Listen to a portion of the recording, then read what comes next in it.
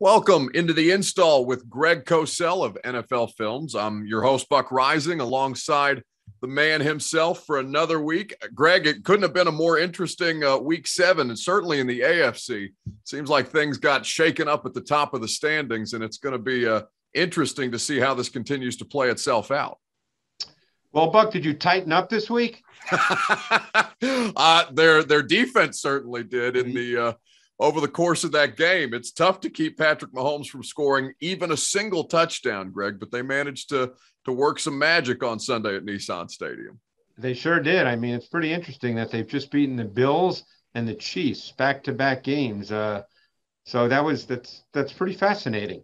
But sure. it was very, you know, it's funny just to jump in because you, you mentioned the defense, and they really had a, a, a very defined defensive profile in this game and they played sub defense because they had 40 snaps of nickel with five defensive backs, 25 snaps of dime with six defensive backs.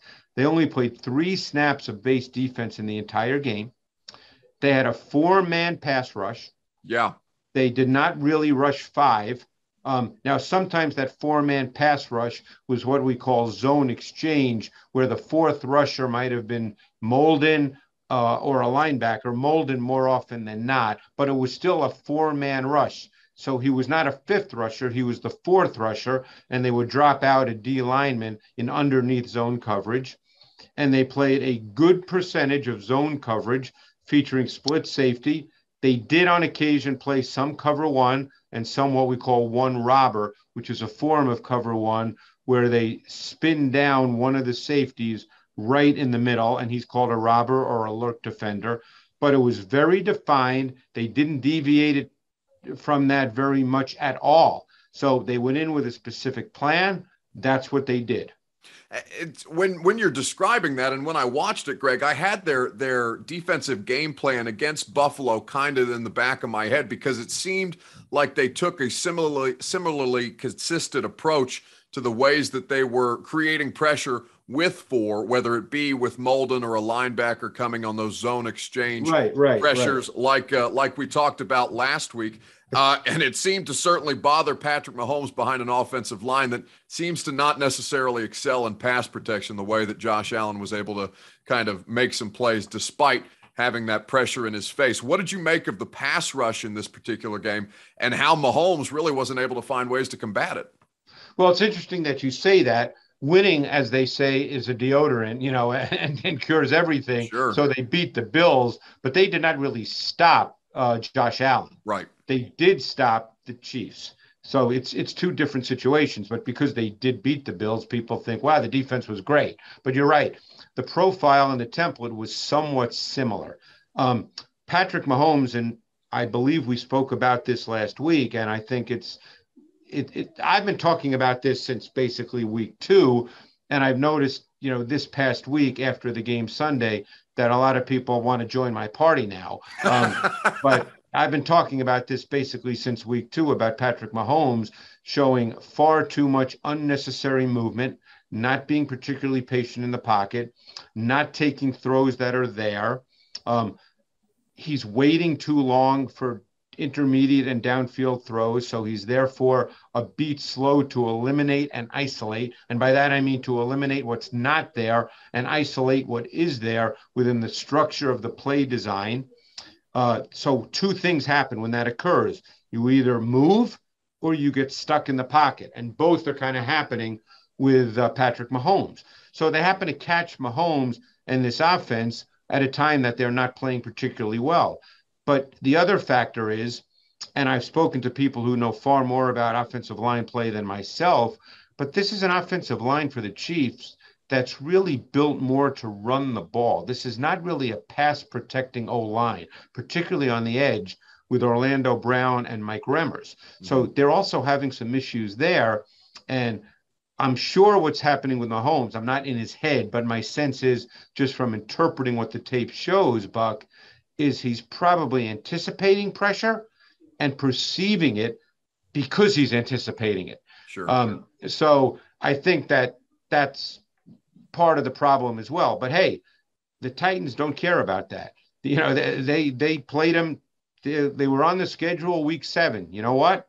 That's when the game was. Yeah, absolutely. And they handled their business uh, in in that kind of fashion. I, I guess, Greg, just to kind of stick with the Mahomes situation right now, because you know, I mean, we get into these. We, we everything leading uh, between the games is basically an infomercial to get us from one game to the next across sports talk uh, and sports media. But at this point, it seems like people are trying to or looking at Patrick Mahomes and saying the issues that he's kind kind of displaying right now are not that different from the way that he's approached the game in previous years when he did have adequate pass protection. It's just that he seems to be much more un- unlucky, for lack of a better term, with the turnovers that he is uh, that he's giving up right now. How much? How much? Of that perceived pressure is new or how much of it is just Patrick Mahomes doing what he's typically done and not having the same kind of margin for error that he's had in years past with a better line. And I think there's two sides to that. He's done this so well and by the way he did this at Texas Tech, yeah. which is one reason why the year he came out I had numerous conversations with offensive coaches at the combine who were a little nervous about drafting him. Now you, we can look back now and say, oh, all those coaches were wrong but there was a concern that Patrick Mahomes would play too much outside of structure. And while we've seen in the NFL that there there has been no one better doing that over the last is this his fourth year as a starter? Yes, I believe. That sounds um, right. Yeah. So while there's been no one better doing that over the last three years, there's still a random element to playing like that once you step outside of structure. So he's done it so well so many times that I think we tend to think that oh you know that's that's just the way it's meant to be. But it's not really the way it's meant to be because you're playing outside of structure. Now is there some structure in the sense that when the quarterback leaves the pocket you coach where receivers go? Yes but you don't know exactly what the defense is going to do. So as i said there is somewhat of a random improvisational element to it and there are times that doesn't work. So whether you want to call it unlucky, whatever you want to call it, over the last four or five weeks, it's been much more of a struggle than it's ever been. But one thing tactically that has shown up on tape, just so people are aware, is we're seeing more and more defenses playing either two man coverage, which is a man version with two deep safeties, or just split safety taking away the vertical throws, especially those throws to Hill when he is aligned inside in a trips formation. So what's happening now is when Hill just tries to run across the field, he's not running away from anyone because there's a safety sitting there. Right. So my guess is Andy Reid, it's not his first rodeo. They'll probably figure this out. Mahomes is obviously a great player. So I don't expect that this is the the end of Patrick Mahomes. You know, it, that will not be the case. But they're just going through a rough spot where they've got to figure some things out and kind of you know re- refresh a little bit. You know, hit the refresh button. I mean, you've just taken away my first take headline, Greg. Here, I thought the Patrick Mahomes and the Chiefs were dead and dead and buried and gone. uh, seven weeks into the season, this is much less uh, much less exciting but actually, it's interesting to see the way that it's played out through this point in the season. It's going to be more interesting to see the way that, as you've described, Andy Reid and that offense kind of adjust to, to the way that defenses are playing them. Let's let's kind of flip the script and look at the Titans offense yep. against this Chiefs defense because we, we knew what the Chiefs defense was. We knew their struggles coming into the year. We know that they've been banged up. Chris Jones did play for the first time in a couple weeks, and it seems like their the entirety of their game plan, Greg, was almost dedicated to selling out to stop Derrick Henry, and they limited his efficiency, but allowed the uh, the Titans' offense and that play action passing game to t- kind of take advantage of well, Derrick as as a decoy, for lack of a better term. Well, it wasn't a decoy per se because he had 29 carries. Yeah. Um, but the point being that's, a, that's is, just any Sunday, Greg. Any right, Sunday right, right, right. Um, the point being, and I know we spoke about this earlier in the season when they were not getting any explosive plays on offense. That was what was missing. You know, ever since Tannehill took over week six in 2019, one of the things they've done well is execute intermediate and vertical throws with off play action. And in the second half against Buffalo and last week, we're starting to see that dimension of their offense come to the party. And I think when that happens, that's when they score points. We know Derrick Henry is great. There's that, that's not the issue. Yeah. And we know that he can break off a long one. Okay, that's he's one of those rare backs that can break off the 60 yarder. You know, obviously he did that against Buffalo. Uh, he had a long one earlier in the season. I forget who the opponent was. Um, Seattle. Seattle, correct. Um, but that those are not going to happen every week. Percentage wise, the more explosive plays come out of the passing game. So it's how do you get to them? The best way this Titans offense gets to them is with the play action pass game, whether they work the middle of the field or whether they work one on ones on the outside, as we saw this past week with A.J. Brown. So that needs to be part of the equation for this offense to, to be what we know it can be, given that they averaged over 30 points a game in 2020. So this is a very positive sign because you know what? Henry will have games like this. As great as he is, teams are going to sell out to stop Derrick Henry. They're going to keep him to games where his long run is 11 yards, and that's going to happen. The offense can't be shut down when that happens, Buck. Right. Yeah, and and that's that was a part of their struggle as you mentioned at the start of the season. So with with what you're seeing from from the Titans right now, Greg, as they start to get more of their personnel available to them, we saw AJ Brown and his contributions. Julio Jones certainly in the first half, but they basically Rob Moore, the wide receivers coach, was pulling Julio back by the arm on the sideline to keep him from going in the game in the second half as they try and manage their way through this hamstring injury. How have you seen a change in in the in the personnel groupings that the Titans are now trending towards with more of their skill position players available? As we discussed last week, a lot more 11 personnel than we'd seen from them in uh, previous weeks. Yeah, and and you know it's funny you say that because they didn't really. I'm trying to remember, but they didn't really run the ball much out of 11 personnel, particularly on first down. And actually, they ran the ball very poorly out of base personnel, which is something you don't see very right. often. Henry, out of base personnel, meaning anything but 11, he was only 18 for 49. They could not really run the ball the way they want to run the ball. So I'm very anxious to see going forward what their personnel package is in the run game. Because if Jones can play, and I know they're trying to manage him, and my guess is he'll go this week. Yeah, um, yeah. If they have Brown and Jones, um, it's going to be very interesting to see how teams play in 11 if it's 11 personnel particularly on first and 10 or normal down and distance situations it's hard to know because we haven't seen a ton of of Jones and Brown on the field together to really know that. Um, like I'm very curious to see what the Colts do this week. You know, the Colts have had some injuries. I'm, I'm curious to see how they play. You know, just from a, a personnel perspective.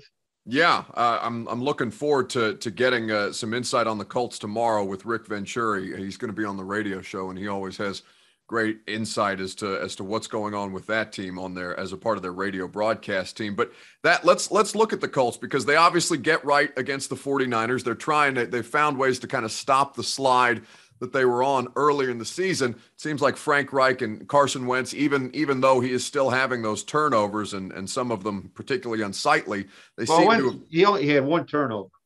Well, the the one that the one that I'm talking about is uh, was, was, was was an extremely bad one. Yeah. But he but he just had the one. Yeah. And overall, he's not turning it over and he's not getting sacked overall.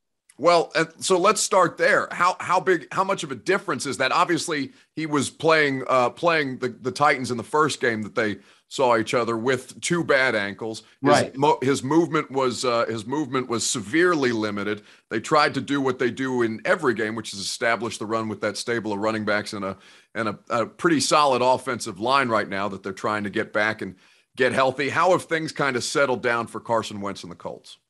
Well, Wentz over the last month or so has actually played pretty well. I mean, look, he's he's in a situation. This is all perception, and I don't deal with that. But just to make the point, he's in a situation where he's going to have to, you know, go deep in the playoffs or get to a Super Bowl before people start to think he's a good player again. Sure. Because in the minds of many, he just stinks. So it it almost doesn't matter what he does, but that's perception.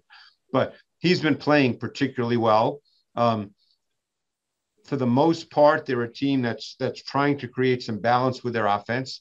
This past week, maybe it was weather related because obviously, for those who saw the game on Sunday night, it was obviously not ideal conditions. A little sloppy. This, yeah, this past week they played with two tight ends, a significant percentage more than they had through the first six games of the season. So we don't know if that was just either a philosophical change a change specific to the Niners or a re- weather related change. So we don't know the answer to that until they line up and play this Sunday against the Titans. Um, but um, getting back to Wentz, he's been far more efficient. The ball's coming out. He's been far more accurate. His ball placement has been good. Um, so he's playing at a very consistent level, an efficient level, and capable of getting the ball down the field for sure. So, and they have a good run game, and Quenton Nelson is back. So this this offense does present some issues.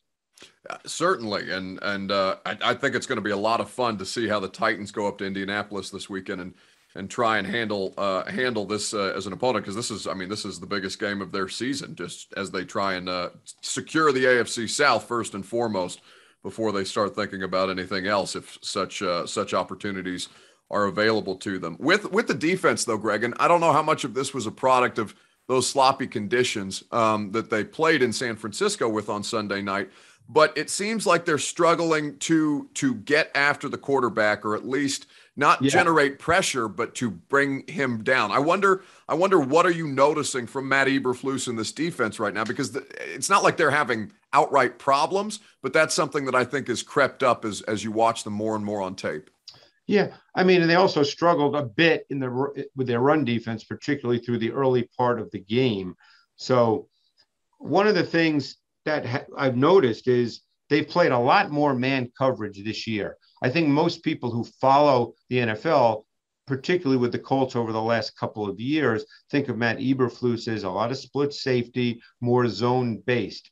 They are playing far more cover one, which is uh, single high man coverage. They're playing snaps of two man, and they're doing that a lot on third down. So this is clearly a case where Matt Eberflus has made a little bit of an adjustment and evolution in, in the way he's playing this season.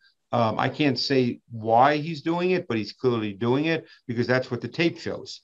Yeah, uh, I, I, how, I guess I don't, I don't know how we don't know how much of it is a product of of what they've got as far as personnel is concerned because obviously in this game they lost Xavier Rhodes in pregame warmups and and he is uh, he his consistency it's not been a consistency issue as far as his playing is concerned but he's just not been available to them as much as I'm sure yeah, they would like that to and be. And obviously, Justin Blackmon is now out. They, he was out, of course, for the Niners game. Yeah. He's out for the season with a torn Achilles. So uh, Andrew Sendejo, who's, you know, it seems like he's been in the league for 20 years, but wherever he is, he seems to get snaps. And, you know, obviously he's a guy that teams always want to replace, but you can line up and play with him. So, yeah.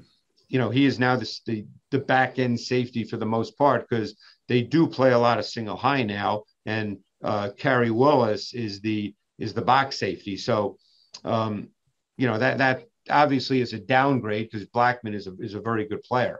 Yeah. Uh, well, this is going to be my favorite part of the podcast because I know Greg is incredibly excited to talk about what the Bengals offense ah. was able to do against the Baltimore Ravens. I mean, Greg, I, am just going to make it easy on you. I'm going to toss it up and say what most interested you about the Bengals just absolutely you know, wiping the floor with this Baltimore defense at home on Sunday. I, I put on the Bengals offense, okay, and you know it takes me time to get through these games. You know, I, I never get through every game every week. It's it's just not possible for me. And and because I actually watch these games in great detail, and as you know, Buck, I take really detailed notes. And I just started watching this game on that side of the ball, and after a while, I'm like typing and typing and typing, and I'm fascinated by what I'm seeing yeah. because the Bengals went in with a really de- defined game plan. The one thing they were not going to get beat by was pressure. They were not, protection was their number one priority. So when they got into certain situations, particularly on third down, but not just third down, they would keep a back, and it was usually Perine and the tight end Uzomah in the backfield. So they would literally have seven man protections because the Ravens, what they do is they are so good with all these multiple front looks where they have six or seven people essentially on the line of scrimmage. And obviously, not all of them come, but you don't know who's coming and you don't know who's not coming. So you at least have to be in a position to pass protect. You can't guess and you can't always put it on your quarterback to just take care of a free rusher because that's too hard. That limits your pass game. And if you talk to offensive coaches, Buck, they will tell you one thing you do not have a pass game if you can't protect your quarterback. Right. So they made it absolutely certain that they were going to protect the quarterback. And the other thing that really stood out to me two things. Number one, there was some form of pre snap movement on the, literally in the first half on always on almost every play. Yeah. And they they didn't do it quite as much in the second half, but that really stood out. Um, and this had been a team, the Bengals on offense, that had been in empty sets the second most in the league behind Matthew Stafford and the Rams. And in this game, and this gets back to the protection issue, they were only in empty sets twice in the entire game. And that played into the fact that they were not going to create a situation where the Ravens could get a free rusher at Joe Burrow. I, I mean, it was clear that that was their plan to try and get Burrow off his spot. I watched the condensed version of that game uh, this morning before because I knew we were going to have uh, this as a part of our conversation today. I mean, I, I understand that Ja'Marr Chase is is performing at an incredible high level, and it's not just him. They have a really fun collection of skill position they players sure in Cincinnati. Um, but with, I mean, he averaged over 25 yards a catch on Sunday, Greg. What what were they doing with Ja'Marr Chase to kind of maximize his skill set? Because obviously he's an incredibly talented player. You know, they didn't do anything special. They ran a lot of slants.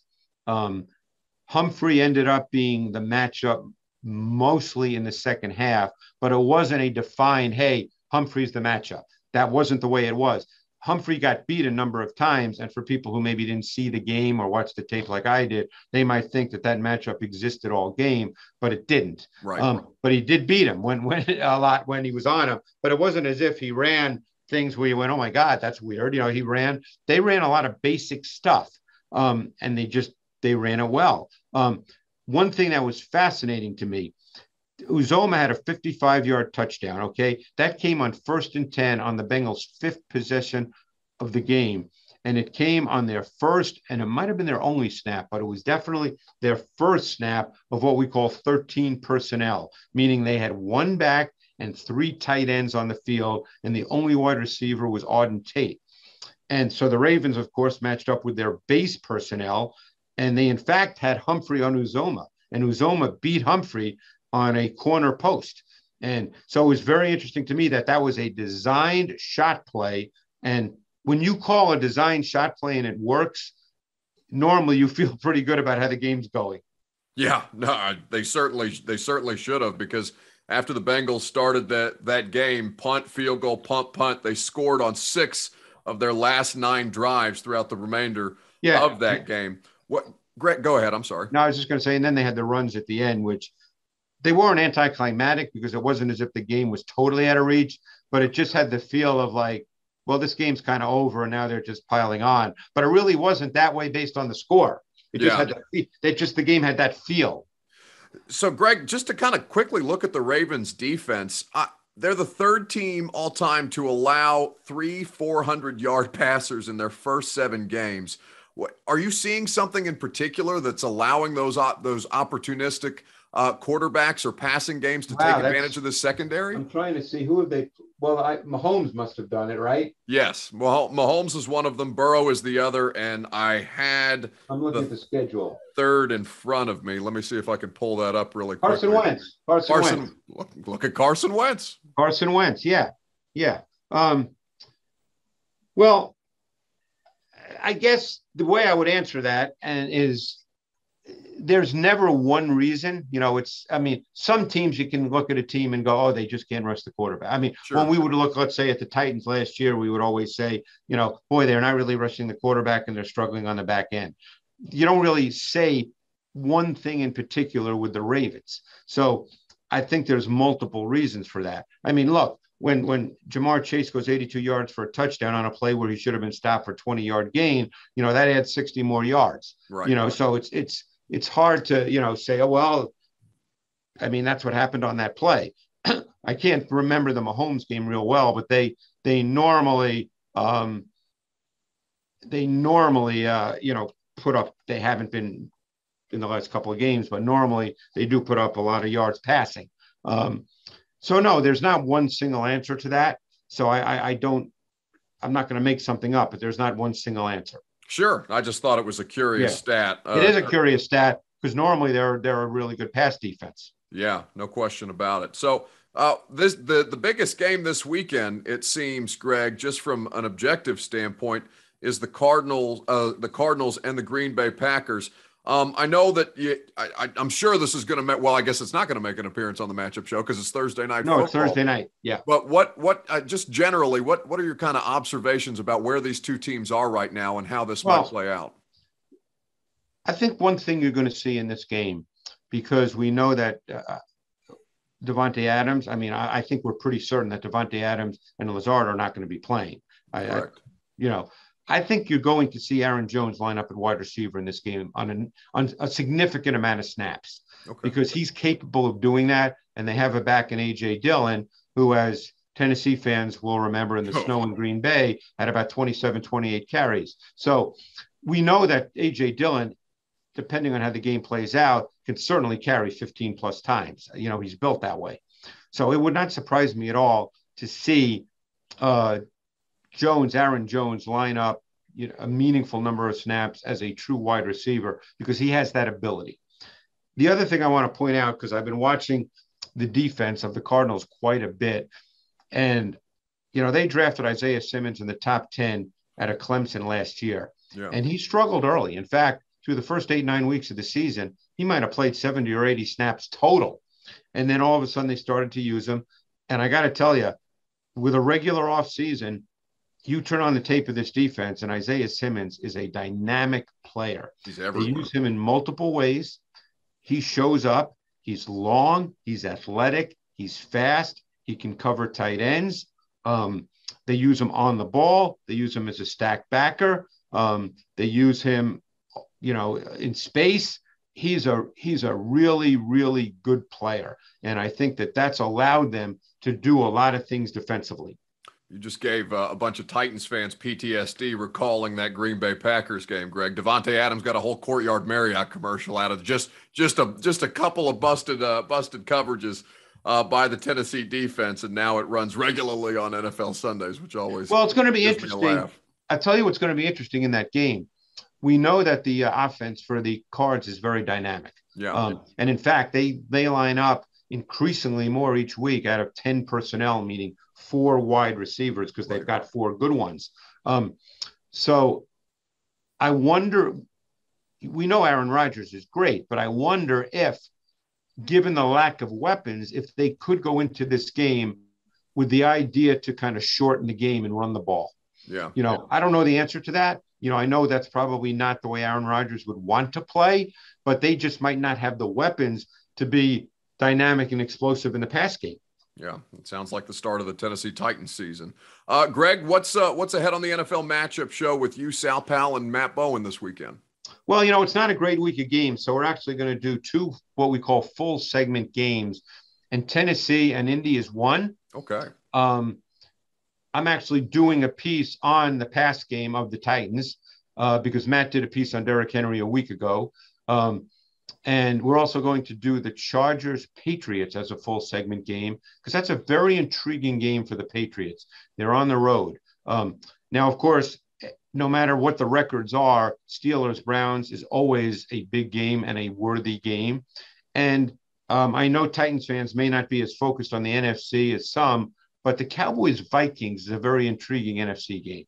Yeah, no, for sure. I, I think the the Vikings. I don't I don't necessarily want to say that they they've been underrated, but it feels like people are just starting to pay attention to what they've been doing. Although I'm sure people like yourself who watch the film at great length have been noticing this be uh, become a trend throughout the course of the year. That's what's ahead on the NFL matchup show. Make sure that you set your DVRs for it and get ready for your NFL weekend with it, just as you do every week with us right here on the install. Greg, enjoy the week of uh, the football to come, and I, uh, I will. I'll, I'll take. I'll take the rest. Of, I'll let you have the rest of the afternoon and no longer disrupt your tape studies until.